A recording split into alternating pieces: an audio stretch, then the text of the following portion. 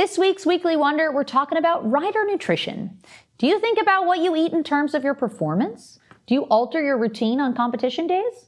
Could what you're eating be affecting your ability to focus while on course? Well, today we have world renowned equestrian fitness and health coach Nina Hammerstrom here to discuss these very things.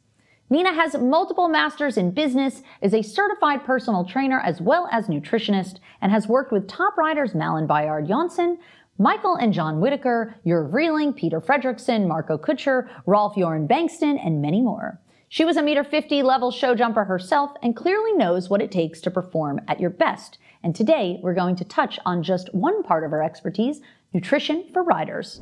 Tell us a little bit about the importance of diet and nutrition in overall performance. I mean, you used to be a rider.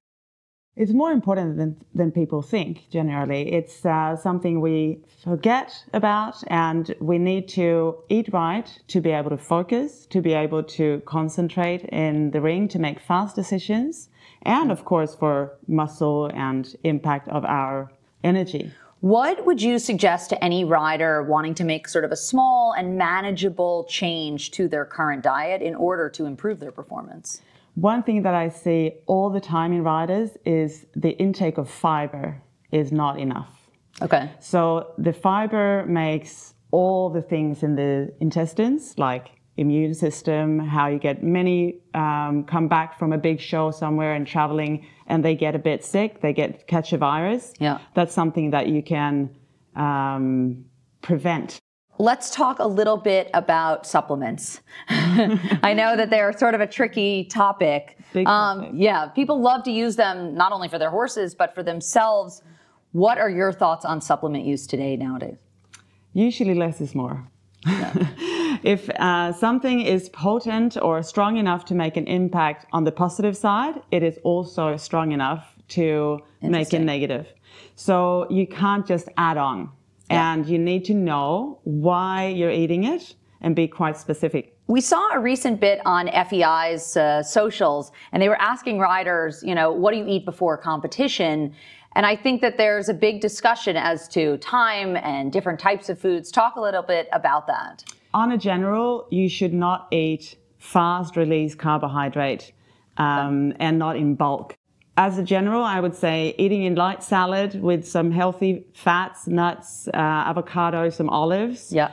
And eating that about two hours before you're going to get on the horse, then you have at least a good good way to kind of, kind of go. Or you know, drink a yogurt, something something that has some probiotics Okay. Something light. Something that won't sit heavy because I know even yeah. myself, I hated to eat anything at all. Yeah. Do you think that there's a problem with people who don't want to eat at all? Do you think that that can affect performance or do you think it's still really individual? Absolutely it can affect. And if you do it because you're nervous and that's not your normal routine, then it's definitely not good for you. Okay. But if you do it always, that you're always on a fasting kind of regime, then your body can get used to it and your body can uh, learn to release glucose from the cells in from yeah from the storage um, in an efficient way, but um, not if that's only at the show and okay. that's something that you do only there. That's never a good thing. Okay, so that's important. Make sure that you stick to your routine whether you're showing or not. The more that you do things like you normally do it,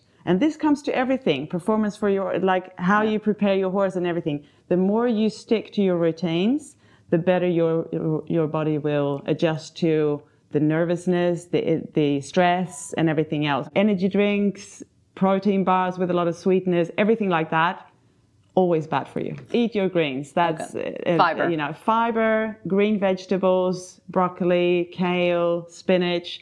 All of that is always good for everyone. We are designed to eat that and we should have that as a base. Okay, so in the mornings, and I know a lot of riders, including myself, always go for like an iced coffee. Is that enough of uh, a drink or hydration for the day? Do you think that uh, that can count as my meal before I ride? No. Damn it. but yes, also. No, but caffeine is fine. Uh, coffee is fine. I have my coffee in the morning first thing as well. Um, but drink your water. So hydrate first, drink a large glass of water, and then you can have your coffee and you can ride a few horses, that's fine, if that's your routine. Okay. But um, but don't only drink the coffee. Drink your water as well. Always hydrate. Always come back to hydration. If you choose not to eat, hydrate and have your coffee. That's fine, but uh, not only. Okay. So when my mother told me I should drink water or drink more was water, right. she was right. All right. So you like should your listen to your mothers. Listen to your mothers. As Nina mentioned, balance is key when it comes to best nutrition practices. And make sure to stick to your usual routine and know that everyone's body is different, and finding what works best for you is key.